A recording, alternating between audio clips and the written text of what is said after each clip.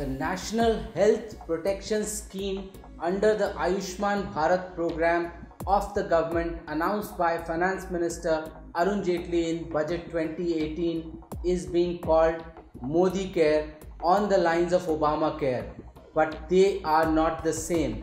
Obamacare and Modi Care are vastly different from each other.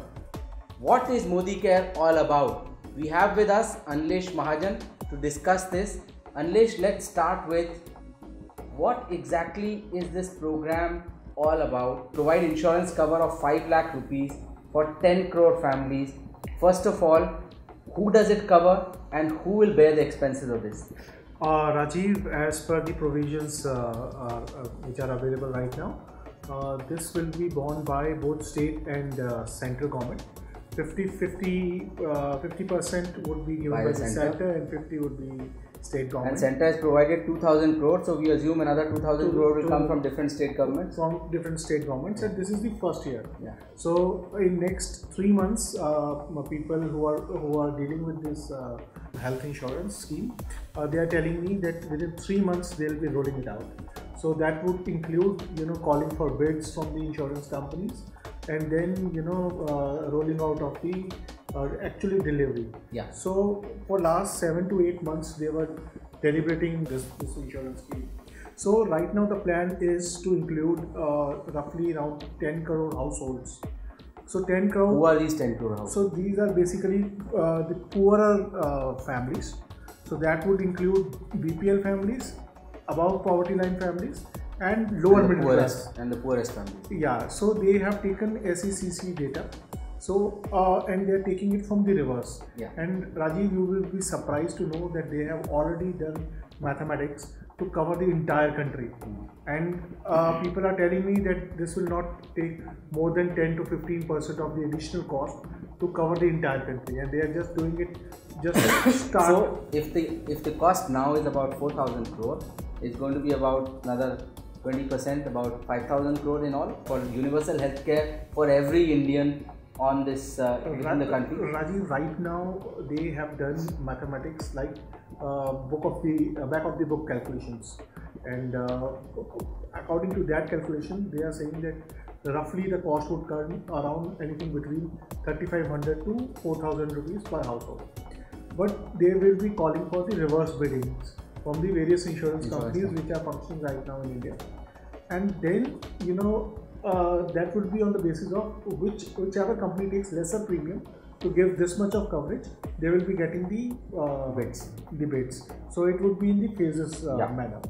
So right now they are also not sure exactly how much would be the premium, exact premium.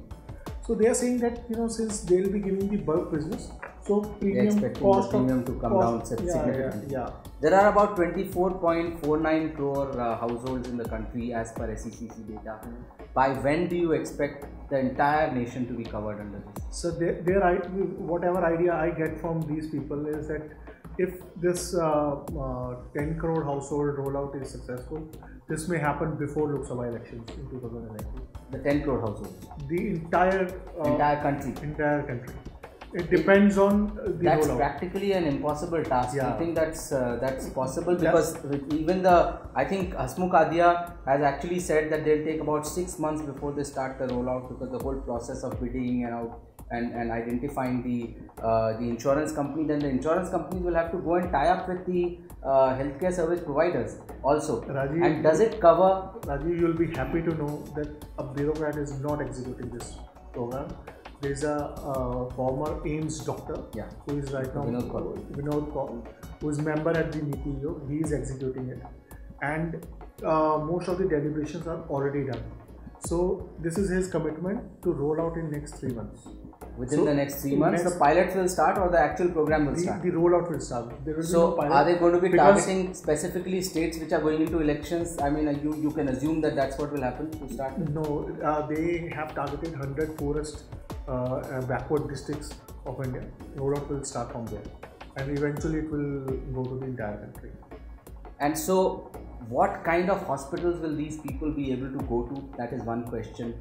Uh, will they be, uh, you know, obviously this will cover the uh, secondary and tertiary care government-owned hospitals, both at center and state, they, it would have to cover that, right?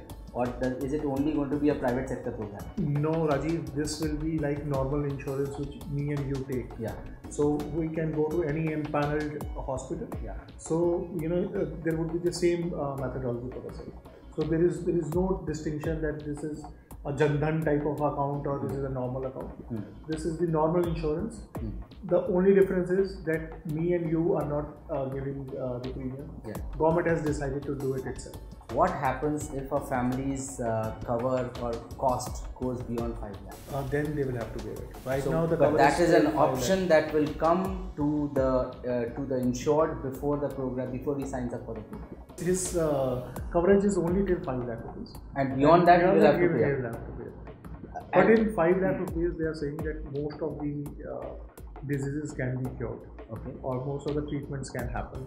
One of the done, things- done the calculation because a precursor to this scheme uh, was with the coverage of 30,000 rupees. Yeah. So the, one of the criticism was that in 30,000 you can't even do a gallbladder operation. Yeah. So uh, that's why we have raised this to 5 lakh rupees and increased the scale. Do we have any sense right now of the contours of this scheme? For instance, Obamacare ensures that even if you have a pre-existing illness, the insurance company cannot refuse you uh, uh, care, you know, health care. Do we have any idea whether whether Modi Care is going to be catering to that as well? See, right now their idea is to uh, follow the same plan. Okay. That if, even if somebody has a pre-existing disease, so they will cure it. But this, I suspect that this will be amongst one of the negotiation points, which With insurance, insurance companies companies. see will. How interested are insurance companies and also healthcare service providers, especially the private sector health, healthcare service See, providers? I can understand that government can push the government-owned insurance companies to, you know, make those bids. Even if they are incurring losses, they might just have to, be, they might just be forced uh, to, to bid for these. But Well, what about the private sector I healthcare providers? I providers? have seen you know uh, these reverse bidding mechanisms in solar and other sectors.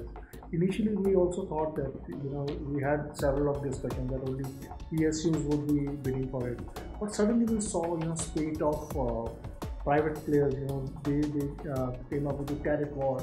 So similar thing is expected here because you know they are also seeing the size of the cake, 10 crore households. This thing has never happened anywhere in the world Yeah. you know, this would be covering 50 crore people, which Yeah. is roughly double the size of US uh, population. Right. So, you know, they'll be getting so much of uh, big market. So, obviously, you know, uh, there will be a great rush.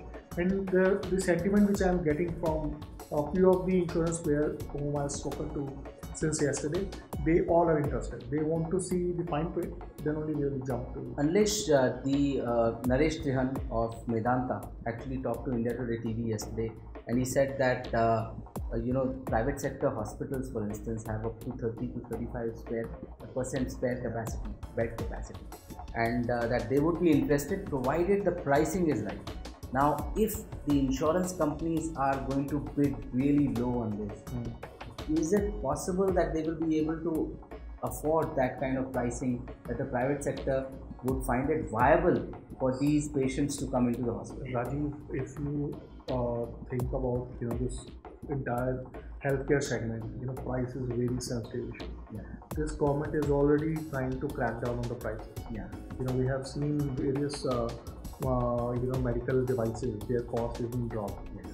Uh, then you know they are very serious on generic drugs. So they are working on uh, uh, you know, the, so that price of uh, health, you know, healthcare that should come down. So and secondly, we also need to see that most of you know the beneficiaries of this scheme will be uh, those households who are into tier two, tier three, and tier four cities, where the secondary and tertiary healthcare. Uh, you know, Slightly is, is slightly more affordable. more affordable as well as you know the, uh, the, the inventory is much more uh, Sure. available. So you expect, you do expect that uh, private sector will actually invest more in the secondary and tertiary, in, in secondary and tertiary uh, care, uh, hospitals and creation of infrastructure into uh, tier two towns.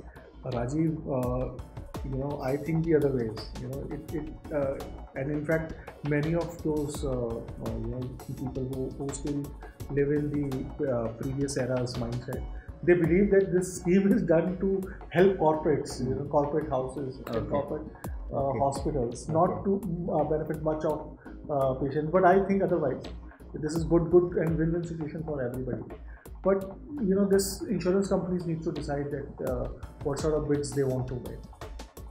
Well, so uh, the allegations will never die and India will never change, and uh, the flip side will always be put out. Uh, that was Obamacare for you. Uh, I hope you enjoyed watching it. Uh, thanks, Anilesh, for this bit of information, and we'll keep an eye on this and we'll come back to you again on the additional details of which way uh, Modi Care is heading.